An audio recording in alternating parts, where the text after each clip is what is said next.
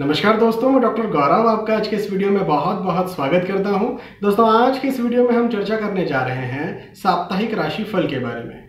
Weekly राशिफल के बारे में, जो कि 22 जुलाई से 28 जुलाई 2019 के लिए होगा। ये राशिफल धनु राशि के जातकों के लिए होगा। दोस्तों, सबसे पहले तो आपसे एक बात शेयर कर दूँ, जो अपने हर राशिफल के वीडियो में शेयर करता हूँ, वो ये कि मेरे जो राशिफल होते हैं, वो चंद्र राशि पर आधारित होते हैं। उसकी वजह यह है कि शास्त्रों के अनुसार यदि आपको ग्रहों के गोचरों की ही गणना करनी है तो चंद्र कुंडली के आधार पर की जानी चाहिए। ये जो राशिफल होते हैं, चाहे आप कहीं पर भी देखें, कहीं पर भी सुने, कहीं पर भी पढ़ें, ये ग्रहों के गोचरों की ही गणना होती है। और चूँकि ग्रहों के गोचरों की ही गणना होती है, इस वजह से सामान्य स्तर पर होती है। चलिए आगे बढ़ते हैं, जानते हैं धनु राशि के जातकों के लिए ये सप्ताह कैसा जाने वाला है। सबसे पहले मैं आपको एक बात बता दूँ कि कहीं ना कहीं लाभ के योग स्पेशली प्रतिष्ठा में लाभ के योग मुझे बनते हुए नज़र आ रहे हैं। आप चाहे कोई भी कार्य करते हो, चाहे आप नौकरी करते हो, व्यवसाय करते हो, चाहे आप किसी प्रोजेक्ट पर हो, चाहे उम्र के किसी भी पड़ाव पर हो समाज सेवी हो, राजनीति में हो, जिस भी तरह से जो भी कार्य आप कर रहे हैं या जो भी आपका लक्ष्य है, उस लक्ष्य में आपकी प्रतिष्ठा वृद्धि हो, ऐसे योग मुझे बनते हुए नज़र आ रहे हैं। लेकिन एक और बात कि आर्थिक नुकसान भी हो सकता है, धन के दृष्टिकोण से लॉस हो सकता है, पैसे की बचत कीजिए, फिजूल खर्च मत कीजिए या बहुत ज़्यादा उत्साह में आकर के किसी को पैसा मत दे दीजिए। अंधविश्वास किसी पर मत कीजिए, ये यहाँ पर आपके लिए सावधानी बरतने के संकेत हैं।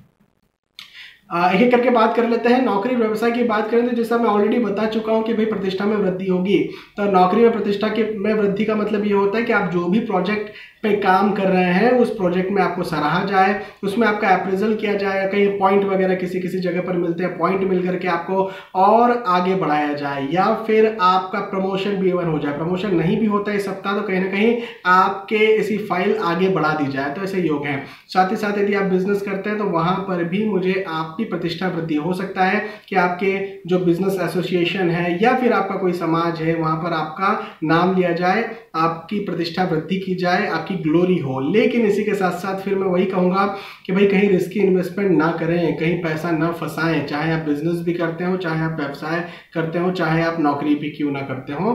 कहीं भी रिस्की इन्वेस्टमेंट आपको इस सप्ताह नहीं करना है, क्योंकि कहीं ना कहीं लॉस होने के योग मुझे बनते हुए नज़र आ रहे हैं।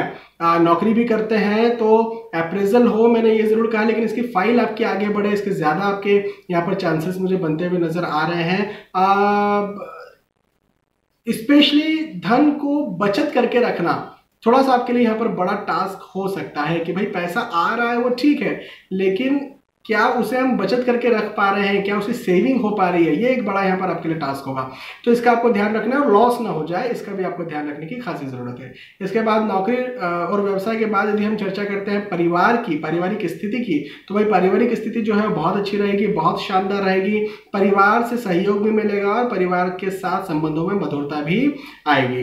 इसके बाद स्टूडेंट्स की चर्चा करें तो स्टूडेंट्स के लिए कहूँगा कि मेहनत ज़्यादा कीजिए, सफल बनिए। सप्ताह, ये समय आपके लिए मेहनत आपसे ज़्यादा लेगा, लेकिन लेकिन आपको रिटर्न भी उतने ज़्यादा देगा। तो मेहनत ज़्यादा कीजिए और सफल बनिए। इसके बाद में बिज़नेस की बात हमने करनी है। अब स्वास्थ्य पर यदि हम चलते हैं तो स्वास्थ्य के दृष्टिकोण से मैं ये कहूँगा कि कहीं ना कहीं स्वास्थ्य में उतार चढ़ाव आ सकता है। कहीं ना कहीं आपको ये लग सकता है स्पेशली शारीरिक स्वास्थ्य की बात करें तो आपको ये लग सकता है कि यार सिर वगैरह ज़्यादा दुख रहा है या लंबी बीमारियाँ जो होती है, जैसे डायबिटीज़ थायराइड हाइपरटेंशन इस तरह की बीमारियों में भी आपको कहीं ना कहीं दिक्कत हो सकती है। तो उसका भी ध्यान रखने की बहुत खास ज़रूरत है। अपने इम्यून सिस्टम का भी ध्यान रखिए। यदि बार बार आप बीमार पड़ते हैं, तब तो बहुत ज़्यादा ध्यान रखने की ज़रूरत है, क्योंकि यहाँ पर बीमार पड़ने के बहुत ज़्यादा योग हैं।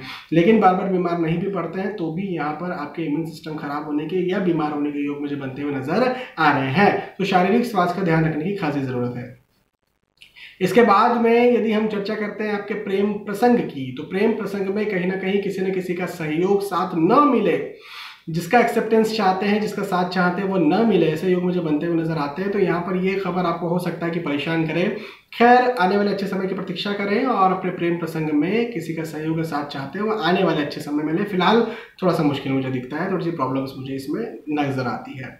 तो दोस्तों, यहाँ पर हमने चर्चा की धनु राशि के जातकों की, कि इनके लिए जो समय है, जो सप्ताह है, वो कैसा जाने वाला है। मुझे विश्वास है कि आपको बात समझ में आई होगी, आपको वीडियो पसंद आया होगा। यदि आपको वीडियो पसंद आता है तो प्लीज़ इसे लाइक करें, इसे शेयर भी करें। यदि आपने इस चैनल को सब्सक्राइब करके रखा है तो बहुत बहुत धन्यवाद, लेकिन सब्सक्राइब नहीं किया तो सब्सक्राइब कीजिए। उसकी वजह मैं आपको बताता हूँ। उसकी वजह यह है कि यहाँ पर समय समय पर राशिफल तो जानने को मिलते ही रहते हैं, लेकिन यहाँ पर आपको खुद की कुंडली खुद पढ़ना भी सिखाया जाता है। ढेर सारे ऐसे वीडियोज़ हैं, ढेर सारे ऐसे सीरीज़ है, जहाँ जाकर के आप खुद की कुंडली खुद पढ़ना सीख सकते हैं। तो यदि चैनल को सब्सक्राइब करते हैं तो आप ही का फ़ायदा है। चलिए दोस्तों, आज के इस वीडियो में आपसे विदा चाहूँगा।